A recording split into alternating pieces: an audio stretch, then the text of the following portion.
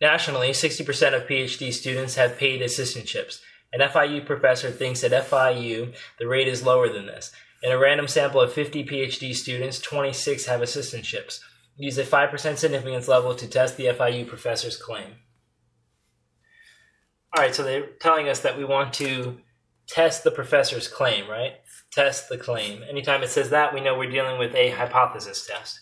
All right, so at that point, let's try to identify the claim.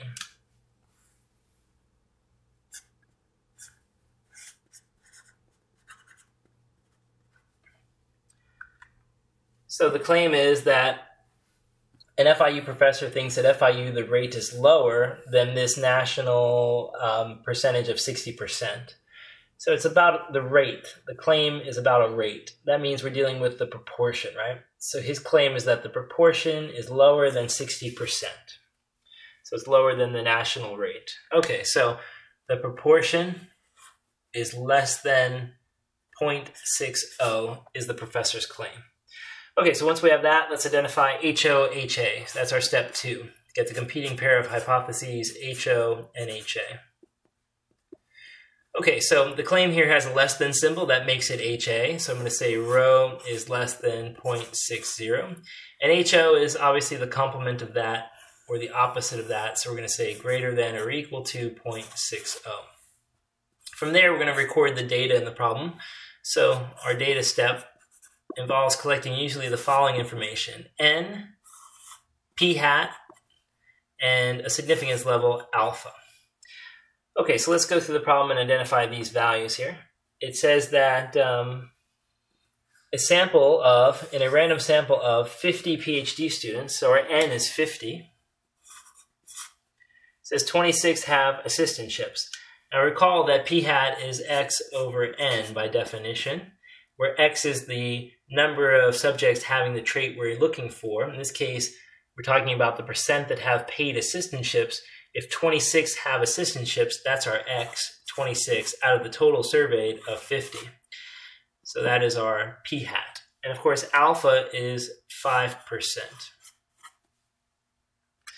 Okay, so from here, let's uh, calculate our p hat. So we'll have 26 divided by 50. It's going to give us 52% there as our p hat. And then from there, we can move on and use that in our test stat formula in step four. Okay, so 0.52 here. And step four, we're going to go ahead and get our test stat formula.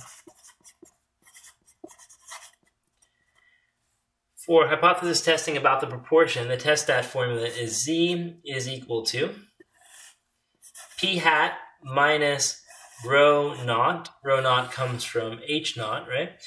And then divided by the square root of rho naught times q naught, or the complement of rho naught, and then finally n. Okay, so let's fill in this information that we have. The p hat is 0.52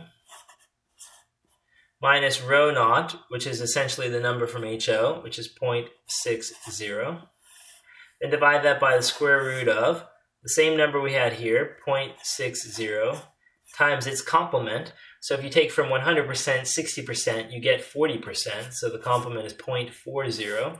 And then divide by n. n is 50 in this problem. Okay, so based on this, we'll do our calculation. On top, we're going to get 0.08 or negative 0.08, right?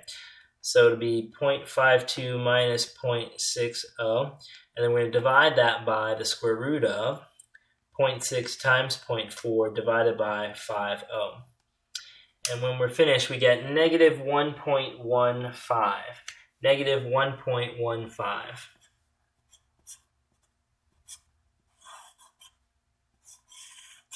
Okay, so that's our test stat, negative 1.15. From here, um, we're going to go get the critical value. This problem asked us to test the professor's claim. It didn't specify any particular technique, so we're going to use the traditional method of hypothesis testing. So let's go ahead and get the critical value for this test.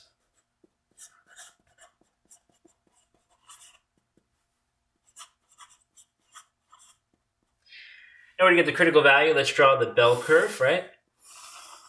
And on that bell curve, let's go ahead and label the tail or the rejection region, right, for the problem.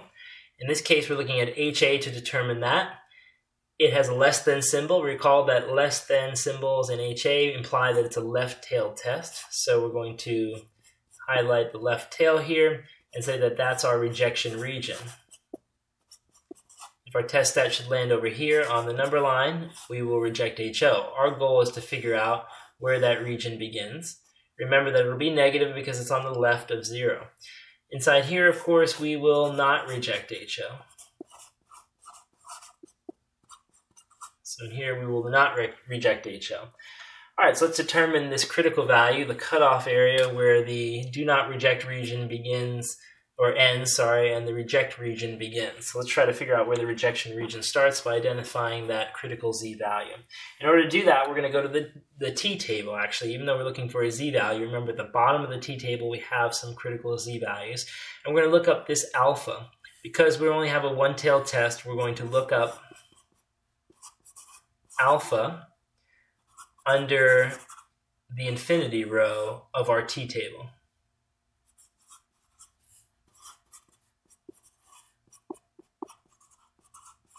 Okay, so let's go do that and see what number we come up with.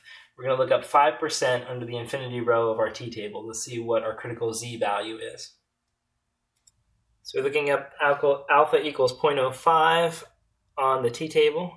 Scrolling all the way down until we see the last row or infinity.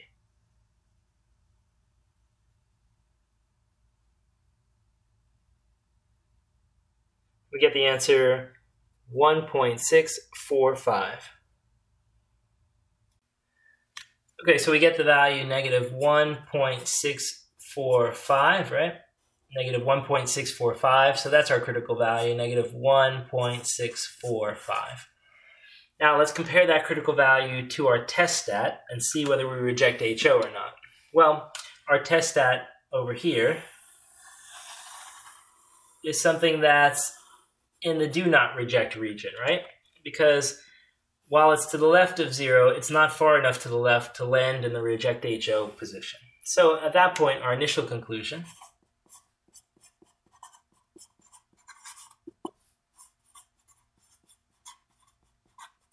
our initial conclusion is going to be that we do not reject and therefore that we do not support HA. So do not reject HO. Do not support HA. So now the question is, which one was our claim, right? Which one was our claim? Was it HA or HO? When I look back at the claim, I see that it's HA. So we should use the wording that's associated with HA down here. So our final step, the wording of the final conclusion is going to say that the sample data does not support the claim. The sample data does not support